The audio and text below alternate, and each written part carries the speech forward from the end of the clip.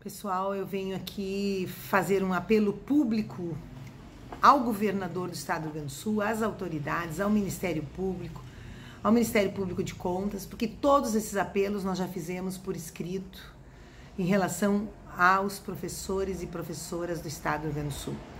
É inacreditável a forma como eles estão sendo tratados pelo governador.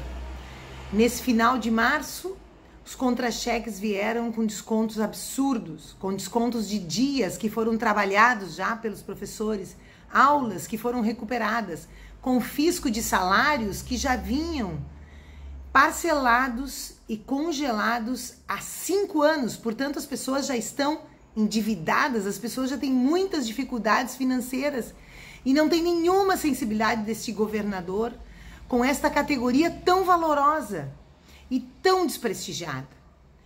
A gente aprovou lá na Assembleia, eu presido a Comissão de Educação, vocês sabem. A gente aprovou na Comissão de Educação, na Comissão de Direitos Humanos, na Comissão de Serviços Públicos, neste fevereiro, ofícios, apelos solicitando ao governo para reavaliar, para renegociar os dias parados e não descontá-los.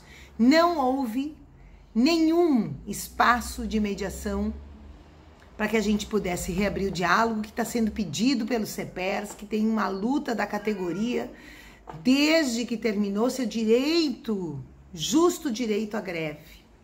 E muita maldade vem por aí, muita maldade, porque me disse o secretário Faisal, eu liguei para o secretário Faisal, que não é ainda a aplicação do novo plano de carreira, que também vem com perdas profundas. Então, ao que, a que se dá um basta. Não dá para aceitar mais a forma e o modelo que está sendo imposto aos professores estaduais que não sobreviverão a isto. E a responsabilidade num momento dramático como, como esse, onde todos estão colaborando, professores dando aulas online, professores fazendo curso, colaborando para a gente fazer o isolamento, para a gente não ter mais mortes no Rio Grande do Sul, o governador não faz a sua parte. O governador não posterga as maldades que tem planejado, desrespeita os profissionais da educação. Não é possível aceitar isto. Este é o apelo público e também é um recado para os professores e professoras. Vocês não estão sozinhos. Hoje mandei esses contra-cheques ao Dr. Geraldo da Camino. Reforcei, estou reforçando os pedidos de diálogo. Conversei com o líder do governo, o nosso líder da bancada. Não deixaremos isso passar dessa maneira.